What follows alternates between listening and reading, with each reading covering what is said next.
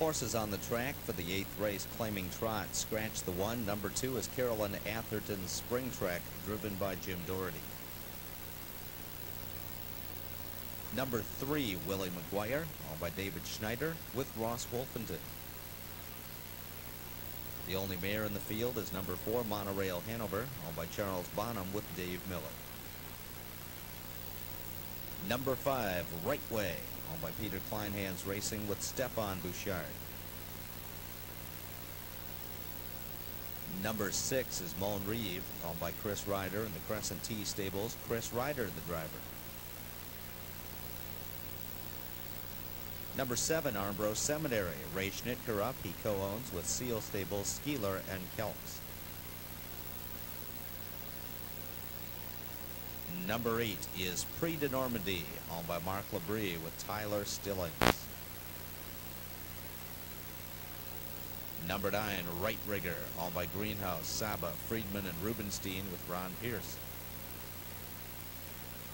And one claim for number 10, CR Dawn Patrol, owned by Matthew Bensick and Chris Zamborski.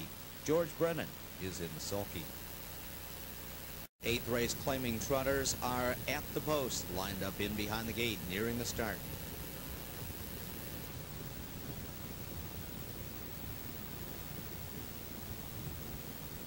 And they're off. Armbro Seminary trying to leave. CR Dawn Patrol from the outside. Moen Reeve hustles away. Right Way has gone off stride. Right Way is on a break at the start. Willie McGuire also up close. He's against the pylons there and has a head in front. But Armbro Seminary is right there in tight between horses. And Schnittker had to check him up slightly. CR Dawn Patrol trots on now to grab the lead.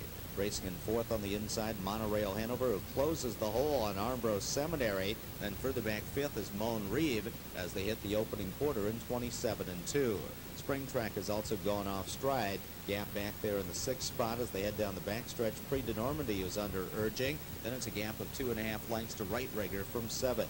Eighth as they head toward the half mile marker is right way, and then at the back of the pack, Spring Track is far behind, trailing the field. So Armbro Seminary pressed on, and he made the lead from CR Dawn Patrol. Willie McGuire is third, and on the move, Prix de Normandie first up on the outside, the half and 56 and 2, and Prix de Normandie is moving closer. He's now up to third, and moving towards second, just two lengths from the front. Willie McGuire angles out there to follow live cover. Up the rail is Monorail Hanover, who's trotting in fifth. Sixth on the outside, third over right rigger is gapping cover. Then Moan Reeve to his inside seventh as they trot to the three-quarter marker. Armbro Seminary still in front, just off his wheel. Prix de Normandie is applying the pressure there as they hit three quarters in 126 flat. CR Dawn Patrol has trot if he can shake free from the box, jammed in there third. Armbro Seminary still in front with an eighth of a mile to come. Prix de Normandie with his relentless rally continues to close in. Prix de Normandie is taking the lead. Willie McGuire on the outside. Monorail Hanover looks to split him. Prix de Normandie drifting a bit. Monorail Hanover to her inside. Late trot from Moan Reeve, who's surging up for Chris Ryder, but it's Prix de Normandie to win again. Moan Reeve finished second, tight for third, 155 and 3. Prix de Normandie is in the winner's circle again. That's his fifth Big M victory in eight starts here. He's 12 years old, and he's just trotted to a career best 155 and 3 record. Prix de Normandie, driven by Meadows regular Tyler Stillings, who's done an excellent job driving him here at the Big M, is by Prix de Marique out of Command T. Collins by Texas. Mark Labrie of Woodbury, New Jersey owns, and Carmine Fusco trains. So the grand old man, Prix de Normandie at age 12, trots in 155 and 3, fifth victory at the Big M this year, and his ninth victory overall. In the winner's circle to make the presentation, Teresa and Dave Drexel. Number six, Moan Reeve, 3160 and 940. Third, the three, Willie McGuire, 360.